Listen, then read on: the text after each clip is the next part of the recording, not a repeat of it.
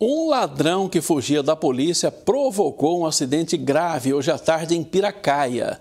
Duas pessoas morreram e o homem que causou esse acidente foi preso. Câmeras de monitoramento registraram o acidente. No vídeo é possível ver um homem e uma mulher na motocicleta encostada no meio-fio da avenida. De repente, eles são atropelados pelo veículo que surge em alta velocidade. Depois de bater na moto e em outro veículo, o carro ainda se choca contra um poste.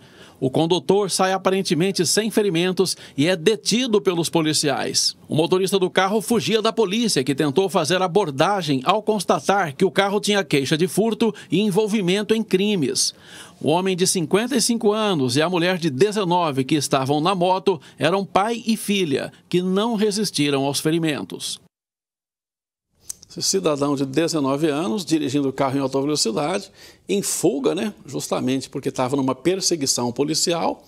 O carro tinha queixa de furto e envolvimento em outros crimes, ou seja, pela placa, pelo levantamento do carro, a polícia constatou que tinha muitos problemas ali.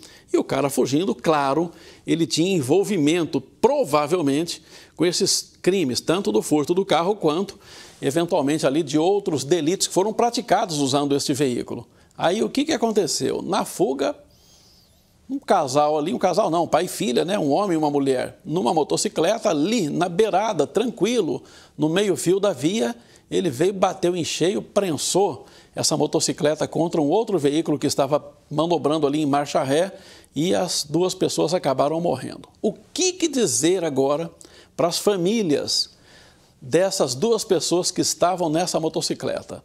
E essa figura ainda tem muita gente que fica defendendo dizendo que são vítimas do sistema social. É muito mais difícil procurar um emprego, é muito mais difícil levantar cedo, trabalhar o dia inteiro e ir embora para casa. Né? E muita gente acha mais fácil ficar na marginalidade e na bandidagem.